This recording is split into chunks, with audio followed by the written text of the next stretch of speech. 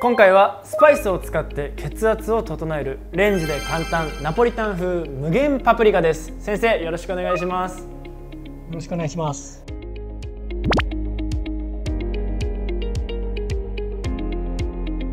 うんおいしい。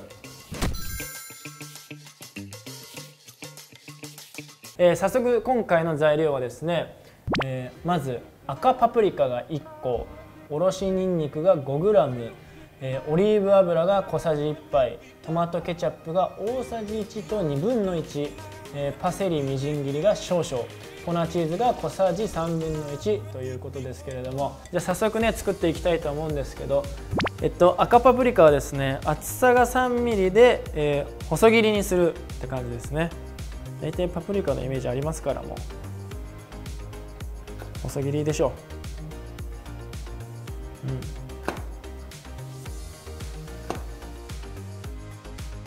先生パプリカにはどういった効果があるんですか？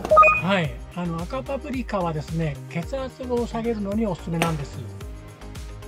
ポイントはビタミン C なんですが他の色のパプリカと比べて赤パプリカはビタミン C が一番多く含まれているんですね。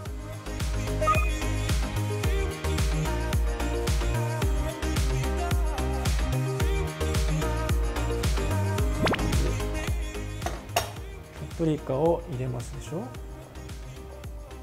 にんにくをまぶす？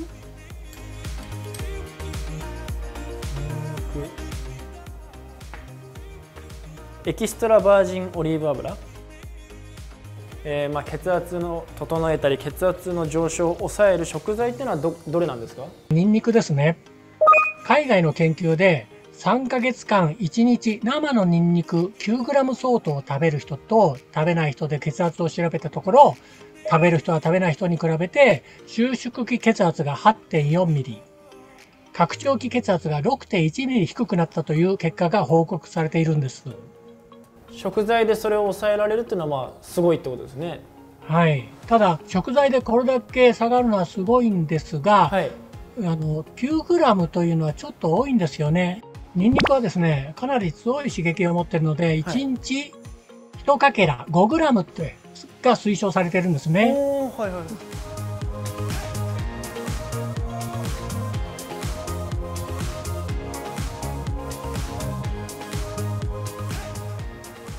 ふんわりね。ふんわり。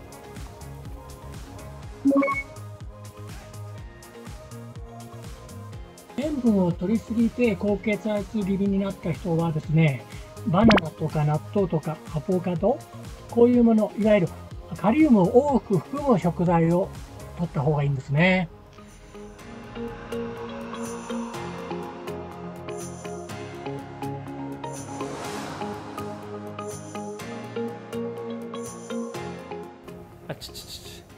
続いて水気を取る。ケチャップを混ぜる。あえる。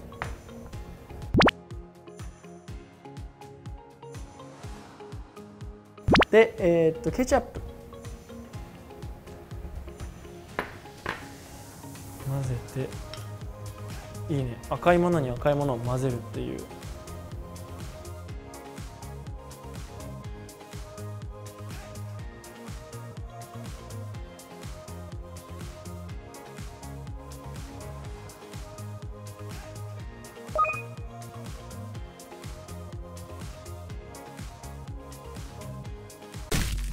できました、えー、血圧を整えるナポリタン風無限パプリカです。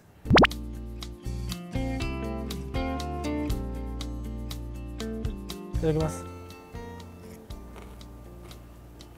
うんおいしい。